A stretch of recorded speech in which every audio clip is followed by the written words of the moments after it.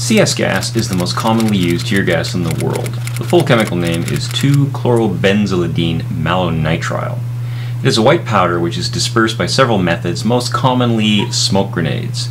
Symptoms of exposure include intense shedding of tears, eyelid spasm, eye pain, burning in the nose and throat, increased nasal secretions, chest tightness, sneezing, coughing, and retching. The effect is on within 20 seconds of exposure and it starts to wear off approximately 15 minutes after non-exposure. It can also provoke asthma attacks in the susceptible. In 2003, the Journal of the Royal Society of Medicine stated, quote, data on the safety of CS spray are scarce and there is wide acknowledgement that further studies are required, end quote.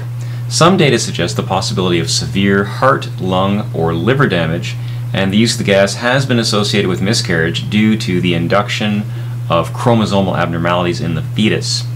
Decontamination is generally accomplished with soap and water or mild alkaline solutions of metabisulfate in water.